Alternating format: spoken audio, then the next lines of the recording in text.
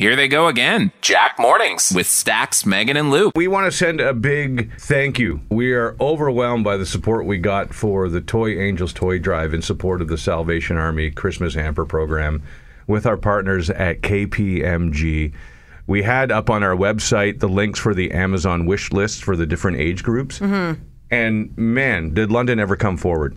We've got some really generous people in our community. Yeah, there's like boxes showing up every single day. It's been amazing, and uh, we've got some great people that have. Uh, they, there's a little note inside, a little gift note inside each box. So here's a few people: Kelly Stone, thank you so much. Cassandra, thank you so much. Jason Van, thank you so much. As well as Nancy McVitie, Ian Jeffries, Cassandra Edwards. Thank you so, so, so much. I'd like to acknowledge Courtney Buchanan. I'd like to say hello to Cheryl Williams, Christina St. Pierre. We've got Brendan McHugh. Thank you very much. And we couldn't have got this done too without some of our offices out in the community as well. Yeah, we got start.ca, Aaron Chapman and family, Janice and Cliff Alcock, of course, KPMG, Bradkin, Alarm Tech, Carrie Field. Chartwell London, John Vanier Children's Center, A&L Canada Laboratories, and Laser Sales Incorporated. Thank you, thank you, thank you for your generosity. Um, Round of applause. That's awesome. yeah, we're, we're so overwhelmed and, and moved by the, the giant pile of toys that arrived.